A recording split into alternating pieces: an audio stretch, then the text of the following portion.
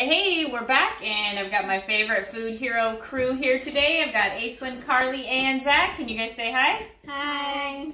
And we are ready to make a delicious salad for you today. But first, what do we always need to do before we start to cook?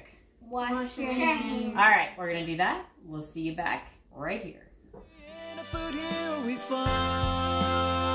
Yeah, yeah, yeah. Hey, our hands are clean, we're back, and we're ready to go for a grape and cucumber salad. So that might sound unusual, and when you find out what's in it, you might even think it's more unusual. It's actually got a little bit of vinegar, it's got some hot sauce in it, um, so it's going to be hitting all those tastes. We're going to have some sweet, we're going to have some tangy, kind of sour, we're going to have some spice. Um, it's actually quite a delicious dish for summer.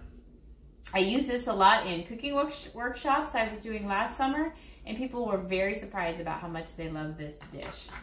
Now today, um, we've got cucumbers in it, and we're using green grapes. We're going for an all green theme today. You could also use um, red grapes if you wished. That is up to you. I've already sliced some cucumber here, and I kind of used partial slicing cucumber, and I also used one of these too. These are awesome. I don't know if you've ever seen these. These are called cocktail cucumbers. Um, delicious. Very thin skin and just great for snacking on. These are very much available cucumbers right now at our local farmers markets and I found these grapes on a great sale this week at the grocery store so that's what inspired this recipe. So we're gonna get started. I'm gonna let Aislinn start. Uh, she's gonna slice the grapes in half. For this we're gonna slice them in half and because they're kind of rolly, she's gonna use either a butter knife um, or a child safety knife, just because I wanna make sure she's safe. And so yes, so remember to point your knife down, and then you can just go ahead and throw them in here when you've got them done. While Aislinn's working on that, I'm gonna come over here with Carly and Zach, and they are gonna get started on the dressing. So Carly, I'm gonna have you take the vinegar and our liquid measuring cup, right? Liquid measuring cup for our liquids. We need one fourth of a cup of that. And remember to get down to eye level when you're measuring that.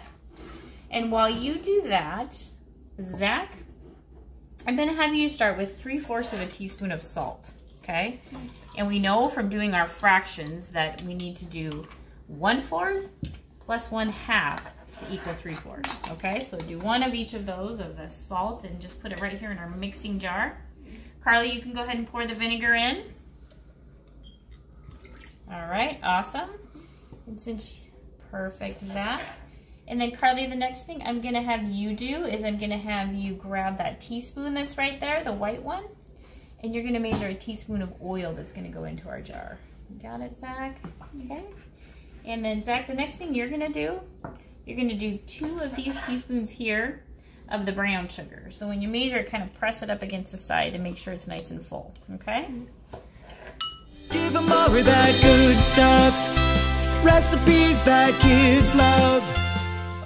That was one fourth of a teaspoon. Yeah. So we actually need four of those. Oh, Okay. okay. Zach, you get to do the hot sauce. Awesome. And it's just a little bit. It's only one fourth of a teaspoon. If you don't like hot and spicy, you could leave it out, but I really think you should put it in. It definitely makes this dish delightful. So go ahead. The one fourth of a teaspoon is this right here. So it's just a little bit. Where healthy food is fun. Give them more. Go ahead and put the lid on. Screw it on real tight, and you both can take turns shaking that baby up, okay? That good stuff. Recipes that kids love. Aislinn, go ahead. I'm gonna add these, and I'm gonna have you add um, green onion. So there's a little bit of green onion in here as well. So Aislinn, you can add the green onion. Perfect. And I have a joke about grapes. Okay, Aislinn's got a joke. Let's listen. Guys, let's see what you think. Why are grapes never lonely? Why are grapes never lonely? Because they come in bunches. They come in bunches. All right, very good, Aislinn. And the other thing I want to point out about grapes and cucumbers, did you know that grapes and cucumbers are mostly water? You know how we need more water in the summer, right? So Yeah. we should just eat lots of grapes and cucumbers, huh? Yeah. Yeah, help us get our water in. All right, so I think we're ready to go ahead and pour the dressing over the top of our salad there. Oh, that looks so good. Oh, I can smell it. It smells delightful. Mmm, it smells very vinegary. We're just gonna stir Can it I up. Yeah, you can stir it. Go ahead and stir it up there, Aislinn. All right, and that is it for our cucumber grape salad. We're gonna go ahead and get that in the fridge, let it chill, let those flavors marinate together, and I think you guys it's gonna be perfect with our lunch. What do you think? Mm-hmm. Good, yeah. All right, so that's all for us today. We will see you next time. Bye. The